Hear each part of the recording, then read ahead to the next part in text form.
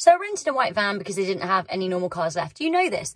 But the real terror in being a white van woman in Scotland, in the Highlands of Scotland, is that the roads are incredibly narrow. So they have passing places. But if you have the misfortune of coming across another car, especially when you're in a fucking massive white van, then you have to do a bit of reversing sometimes into these passing places.